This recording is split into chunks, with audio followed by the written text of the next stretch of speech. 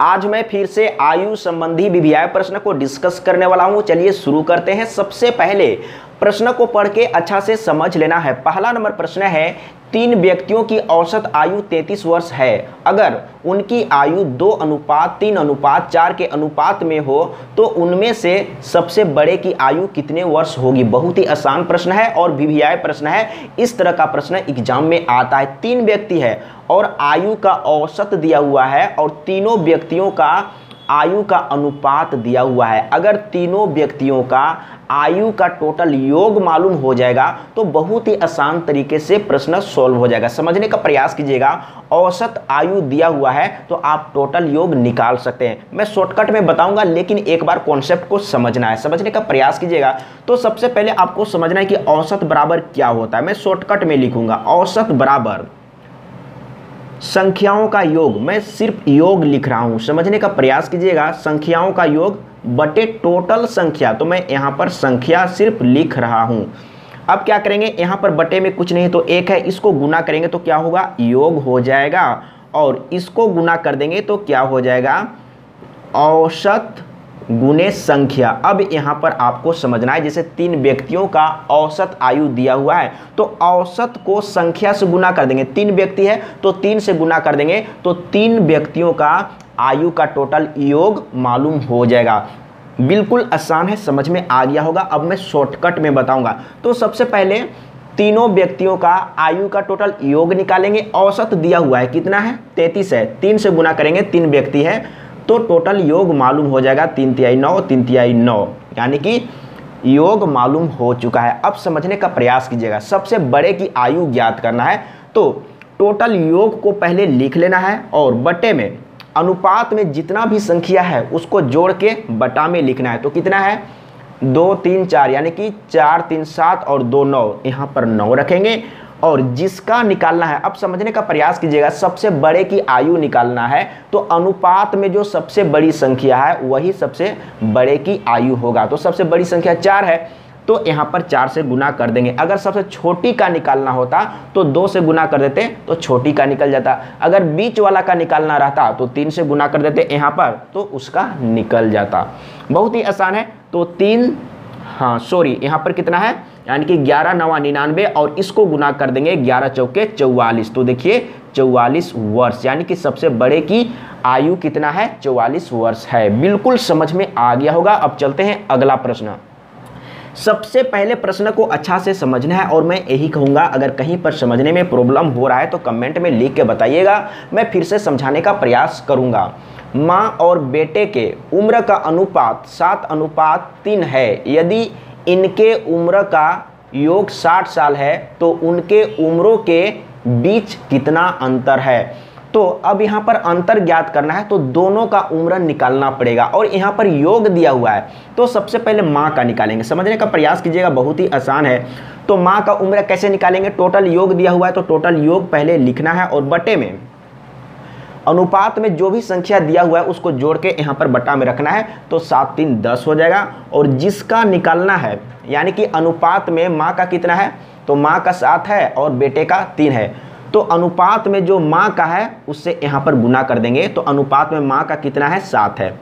Solve करेंगे तो माँ का एज निकल जाएगा। तो देख लीजिए, यहाँ पर ये ज़ीरो ज़ीरो कट जाएगा, सात छक बयालीस। माँ का आ गया बयालीस और बेटे का निकाल लेते हैं तो यहाँ पर मैं शॉर्टकट में लिख रहा हूँ, बेटे का निकालेंगे। तो इसके लिए भी आपको क्या करना है टोटल योग बटे अनुपात में जो संख्या है उसको जोड़ के यहाँ पर बटा में रखना है तो दस हो जाएगा। और बेटे का निकालना है तो अनुपात में बेटा का कितना है, तीन है तो यहाँ पर तीन रखेंगे। ये कट गया है और छतिया अठारह, यानी कि बेटे का उम्र अठारह है। अंतर पूछ रहा है तो घटा दीजिए। अंतर यहीं पर कर लेते हैं, एक दहें दस, यानी कि बारह में से आठ तो हो जाएगा चार और यहाँ पर बच गया है तीन। तीन में से एक तो दो, यानी कि 24 साल का अंतर है। देख लीजिए कहाँ पर है? ख ऑप्शन सही है। तो इस तरीके से आपको एग्ज़ाम में सॉल्व करना है। बहुत ही आसान तरीके से सॉल्व हो जाएगा। अगला प्रश्न तीन नंबर। अब यहाँ पर आपको अच्छा से समझना है। इसमें क्या बोल रहा है? स्त्री तथा लड़की की उम्र का अनुपात, चार अनुपात पाँच है। तथा उनके उम्रों का योग इक्यासी साल है। नौ साल के बाद उनकी उम्र का अनुपात क्या होगा? समझने का प्रयास कीजिएगा। सबसे पहले दोनों का एज निकालेंगे, उम्र निकालेंगे, स्त्री तथा लड़की का। तो टोटल योग दिया हुआ है। कितना है? सबसे पहले स्त्री तो मैं शॉर्टकट में लिख रहा हूँ तो यहाँ पर स्त्री का निकाल रहे हैं तो कितना हो जाएगा? टोटल योग दिया हुआ है इक्यासी और अनुपात में कितना है? चार और पाँच है तो जोड़ के यहाँ पर रखेंगे तो नौ हो जाएगा। और किसका निकाल है? स्त्री का। तो अनुपात में स्त्री का कितना है? चार है। तो यहाँ पर चार रखेंगे तो स्त्री का एज निकल जाएगा। तो देख लीजिए, नौ, नवा इक्यासी और नौ चौके छत्तीस। स्त्री का कितना आ गया? छत्तीस आ गया। अब निकालते हैं लड़की का। समझने का प्रयास कीजिएगा, बहुत ही आसान है। तो टोटल योग इक्यासी है और अनुपात में जो भी संख्या है उसको जोड़ने पर नौ आ रहा है तो यहाँ पर नौ रखेंगे। और इस बार लड़की का निकाल रहे हैं तो अनुपात में लड़की का कितना है? पाँच है तो पाँच से गुना कर देंगे। लड़की का उम्र निकल जाएगा। नौ, नवा इक्यासी नौ पचे पैंतालीस, यानी कि लड़की का पैंतालीस है। तो अब यहाँ पर बोल रहा है नौ साल के बाद अब क्या करेंगे? इसमें नौ जोड़ देंगे। यहाँ पर नौ जोड़ देना है और यहाँ पर नौ जोड़ देना है तो क्या हो जाएगा? नौ साल बाद का उम्र मालूम हो जाएगा। समझने का प्रयास कीजिएगा। तो अनुपात बोल रहा है। समझने का प्रयास कीजिएगा। तो नौ जोड़ने के बाद क्या हुआ? नौ साल बाद का उम्र निकल जाएगा। तो यहाँ पर देख लीजिए, छत्तीस और नौ को जोड़ेंगे तो नौ छः पंद्रह, यानी कि पैंतालीस आ जाएगा। और लड़की का कितना है? अब यहाँ पर ध्यान देना है तो किसका किसका बोला है? नौ साल के बाद उनकी उम्र का अनुपात। तो सबसे पहले स्त्री का रखेंगे, इसके बाद नीचे में लड़की का। यहाँ पर देखिए, पैंतालीस और नौ कितना हो जाएगा, यानी कि चौवन। तो यहाँ पर रख देंगे चौवन, ये अनुपात आ रहा है। तो नौ से कट जाएगा, नौ पचे पैंतालीस और नौ छक चौवन। तो देख लीजिए, इसको आप अनुपात में कैसे लिखेंगे? पाँच अनुपात छ। तो नौ साल के बाद अनुपात क्या हो जाएगा, यानी कि पाँच अनुपात छ। देख लीजिए कहाँ पर है तो पाँच अनुपात छः ग ऑप्शन सही है बहुत ही आसान है। अगर एक बार अच्छा से प्रैक्टिस करेंगे, समझेंगे तो बहुत ही आसान तरीके से सोल्व हो जाएगा। अगला प्रश्न चार नंबर। सबसे पहले प्रश्न को अच्छा से समझना है। अरुण भूषण से उतना ही छोटा है जितना वह अनिल से बड़ा है। यदि भूषण और अनिल की आयु का योग अंठावन वर्ष है तो अरुण की आयु होगी। बहुत ही आसान प्रश्न है और बीबीआई प्रश्न है और इस प्रश्न को सॉल्व करने के लिए कलम और कॉपी यूज़ करने का ज़रूरत नहीं पड़ेगा। समझने का प्रयास कीजिएगा। तो प्रश्न किस तरीके से है, ये सबसे पहले समझना है। अरुण भूषण से, बोल रहा है अरुण भूषण से उतना ही छोटा है जितना वह अनिल से बड़ा है। समझने का प्रयास कीजिएगा। यहाँ पर अरुण है, भूषण है और अनिल है। क्या बोल रहा है? अरुण भूषण से, अरुण भूषण से उतना ही छोटा है जितना वह अनिल से बड़ा है। और ये दोनों का आयु का योग दिया हुआ है। कितना है? अंठावन वर्ष। समझने का प्रयास कीजिएगा। यदि भूषण और अनिल की आयु का योग अंठावन वर्ष है तो अरुण की आयु होगी। अरुण का आयु निकालना है। ये दोनों का आयु का योग दिया हुआ है। अगर ये दोनों का आयु का योग दिया हुआ रहेगा और इसका ज्ञात करने के लिए कहा जाएगा तो बहुत ही आसान है। इसमें कलम और कॉपी यूज़ करने का ज़रूरत नहीं पड़ेगा, लेकिन प्रश्न इसी तरीके से होना चाहिए। तो ये दोनों का आयु का योग कितना है? यानी कि भूषण और अनिल का आयु का योग कितना है? अंठावन वर्ष है और इसका निकालना है तो आपको सिर्फ़ क्या करना है, इसको दो से डिवाइड कर देना है। देखिए, कितना आसान है। इसमें कलम और कॉपी यूज़ करने का ज़रूरत नहीं पड़ता, लेकिन मैं समझाने के चलते यूज़ कर रहा हूँ। तो दो से डिवाइड करेंगे, दो दुना चार, यहाँ पर एक बच गया तो अठारह, दो नवा अठारह। यानी कि अरुण का आयु कितना है? उनतीस वर्ष है। इसी तरह का प्रश्न होना चाहिए। बिना कलम कॉपी यूज़ किए बन जाएगा। देख लीजिए कहाँ पर है। ख ऑप्शन सही है। अगर इसी प्रश्न में अगर भूषण का आयु पूछा होता या अनिल का आयु पूछा होता तो ज्ञात नहीं किया जा सकता है। ये आपका ऑप्शन में रहेगा कि ज्ञात नहीं किया जा सकता है। तो इसी प्रश्न इसी प्रश्न में अगर अनिल का पूछेगा तो आपको क्या करना है? ये दोनों का आयु का जो योग दिया हुआ है, उसको सिर्फ़ दो से डिवाइड कर देना है। बिल्कुल समझ में आ गया होगा। आप चलते हैं अगला प्रश्न, पाँच नंबर। सबसे पहले प्रश्न को अच्छा से समझना है। अगर प्रश्न समझ में आ गया तो बहुत ही आसान तरीके से सॉल्व हो जाएगा। राकेश राजेश से उतना ही छोटा है, जितना वह मुकेश से बड़ा है। यदि राजेश तथा मुकेश की उम्रों का योग 48 साल हो तो राकेश की आयु होगी। तो यहाँ पर वही क्वेश्चन है सेम क्वेश्चन है। तो आपको क्या करना है? एक बार मैं समझा देता हूँ, राकेश है, उसके बाद राजेश है और उसके बाद मुकेश है। तो इसमें क्या बोला है? राकेश राजेश से उतना ही छोटा है जितना वह मुकेश से बड़ा है। और ये दोनों का योग दिया हुआ है। ये दोनों का आयु का योग दिया हुआ है। कितना है? अड़तालीस साल है। और इसका निकालना है तो सिर्फ़ ये दोनों का आयु का योग को दो से डिवाइड कर देना है तो इसका आयु निकल जाएगा। दो दुना चार दो, दुना चार और दो चौके आठ, यानी कि चौबीस साल। देख लीजिए कहाँ पर है, ग ऑप्शन सही है। अगर इसका निकालने के लिए बोलेगा, इसका निकालने के लिए बोलेगा तो इसका ज्ञात नहीं किया जा सकता है। तो इस तरह का ऑप्शन में रहेगा। समझने का प्रयास कीजिएगा। अब चलते हैं अगला प्रश्न छः नंबर। अगला प्रश्न छः नंबर। सबसे पहले प्रश्न को अच्छा से समझ लेना है। अमर और अंजलि की वर्तमान आयु में अनुपात दो, अनुपात तीन है। तीन वर्ष बाद यह अनुपात तीन, अनुपात चार होगा। अमर की वर्तमान आयु कितने वर्ष है? इस प्रश्न को मैं सॉल्व करके बता चुका हूँ और मैं यही कहूँगा, अगर आप पार्ट वन और पार्ट टू नहीं देखे होंगे तो ज़रूर देख लीजिएगा।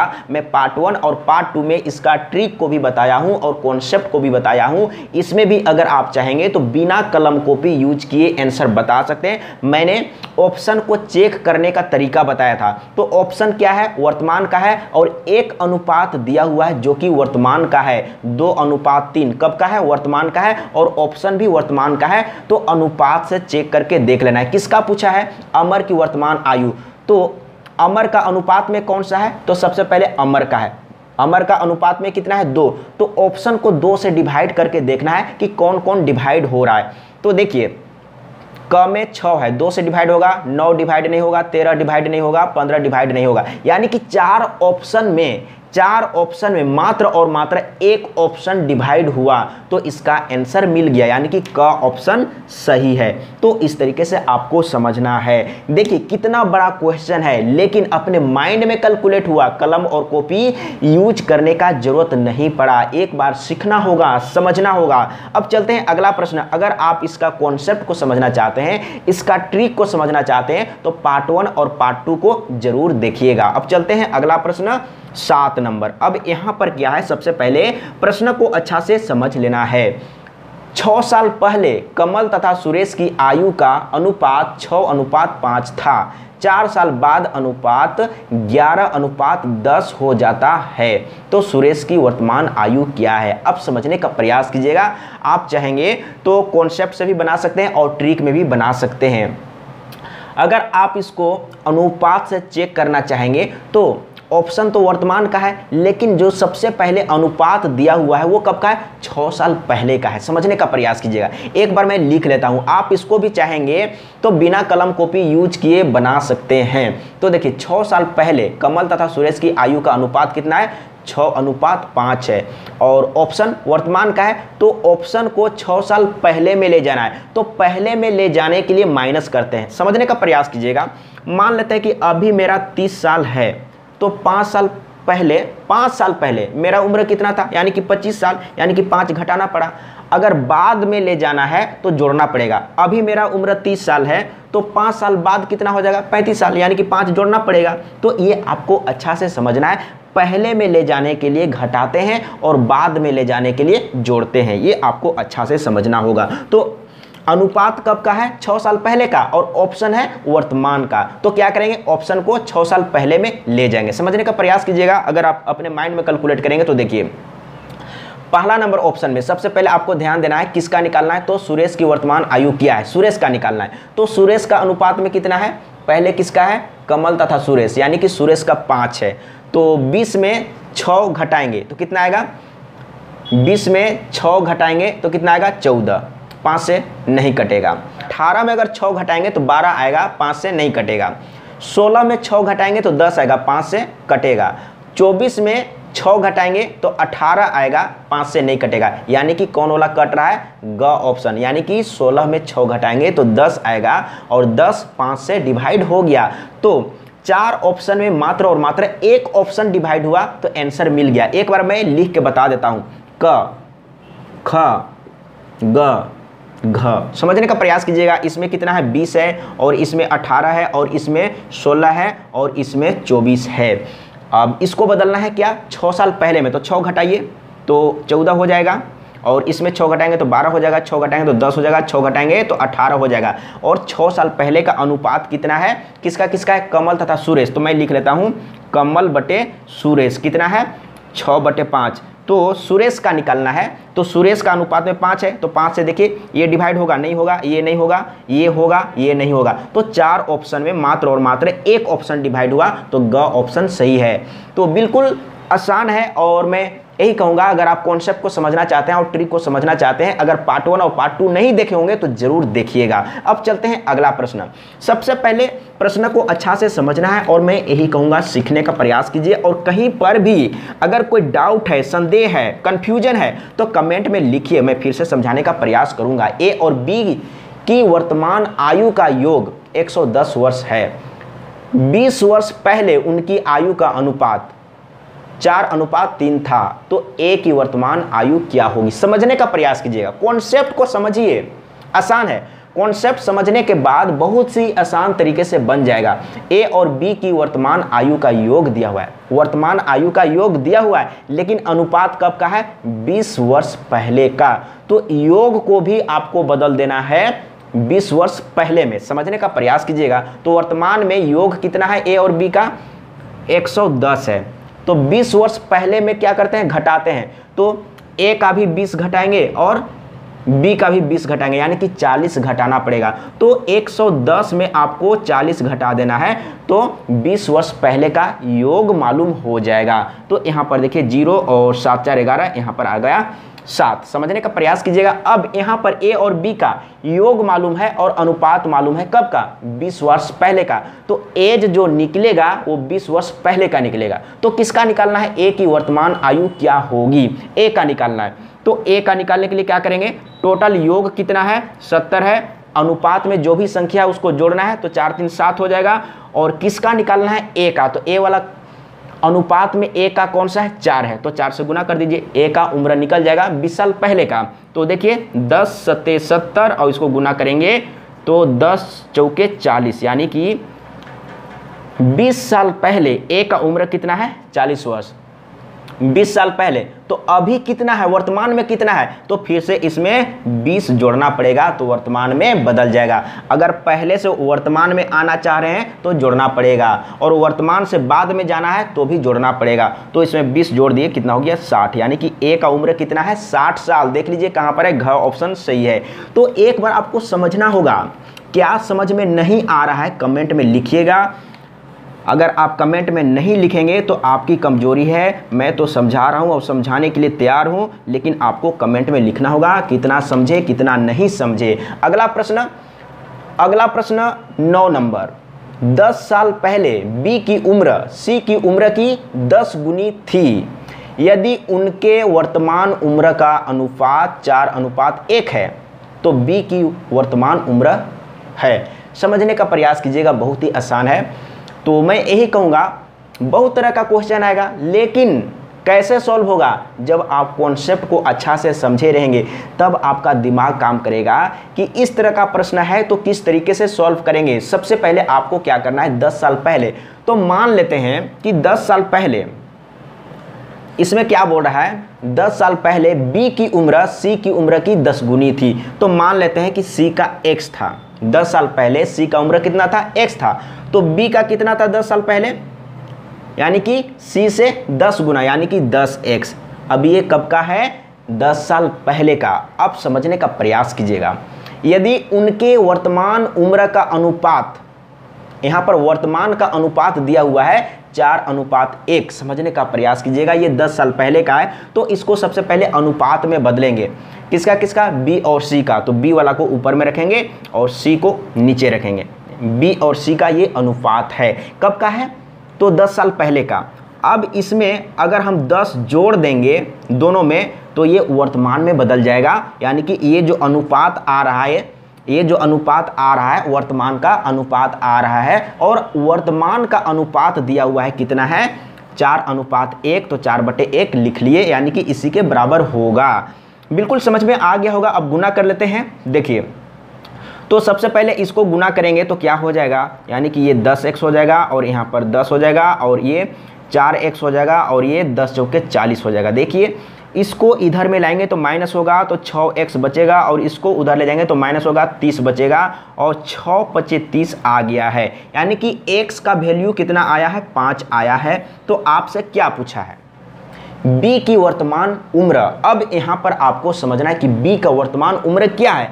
ये तो कब का है? ये तो 10 साल पहले का है, लेकिन वर्तमान का कौन सा है? ये है, क्योंकि इसमें 10 जोड़ा हुआ है। 10 जोड़ेंगे तो वर्तमान में बदल जाएगा, यानी कि ये वर्तमान का है। तो बी का कितना है? बी का ये वाला है, यानी कि ऊपर वाला। तो यहाँ पर एक्स रख देंगे। कहने का मतलब है कि 10 एक्स प्लस दस है।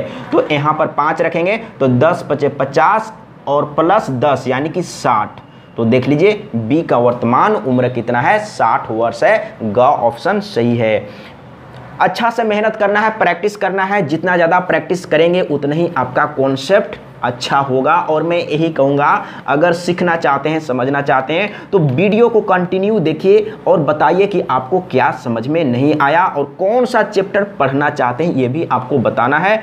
और इस वीडियो के बाद इस वीडियो के बाद मैं स्टार्ट करूँगा ट्रीगोनोमेट्री। कुछ लोगों ने बताया कि ट्रीगोनोमेट्री, बताइए तो मैं ट्रीगोनोमेट्री स्टार्ट करूँगा। आप जो बोलेंगे वही मैं बताऊँगा। क्योंकि आप जो, मान लेते हैं कि मैं बता रहा हूँ और आप जो जानते हैं वही चीज़ बताएँगे तो आपको फ़ायदा नहीं होगा। इसीलिए मैं यही कहूँगा कि कमेंट में बताना है कि अगला जो स्टार्ट करना है, कौन सा चैप्टर स्टार्ट करना है। तो अब चलते हैं अगला प्रश्न। दस नंबर, समीर तथा आनंद की वर्तमान आयु का अनुपात। पाँच अनुपात चार है। तीन वर्ष बाद इनकी आयु का अनुपात ग्यारह अनुपात नौ होगा। आनंद की वर्तमान आयु कितनी है? बहुत ही आसान है। और इस तरह का प्रश्न मैं पार्ट वन में और पार्ट टू में अच्छा से समझाया हूँ। एक बार देख लीजिए, मैं यहाँ शॉर्टकट में बताऊँगा। मैं बोलता हूँ ना कि आप बहुत ही आसान तरीके से कभी कभी बोलता हूँ कि बिना कलम कॉपी यूज़ किए भी आंसर बता सकते हैं। मैं इसको अच्छा से बताया हूँ पार्ट वन और पार्ट टू में। अब मैं इसको बताऊँगा कि आप बिना कलम कॉपी यूज़ किए कैसे सॉल्व करेंगे। समझने का प्रयास कीजिएगा। तो चेक करना है ऑप्शन को। समझने का प्रयास कीजिएगा समीर तथा आनंद की वर्तमान आयु का अनुपात, यानी कि वर्तमान का एक अनुपात दिया हुआ है और आनंद की वर्तमान आयु कितनी है? तो ऑप्शन वर्तमान का ही रहता है हमेशा। यानी कि आयु पूछा है, वर्तमान आयु लिखा हुआ है या सिर्फ़ आयु लिखा हुआ है तो आपको समझना है कि वर्तमान का ही दिया हुआ है ऑप्शन जो है वर्तमान का है। तो एक अनुपात है जो कि वर्तमान का है तो उससे ऑप्शन को चेक करेंगे। किसका ज्ञात करना है? आनंद का। तो यहाँ पर देखना है कि अनुपात में आनंद का कितना है?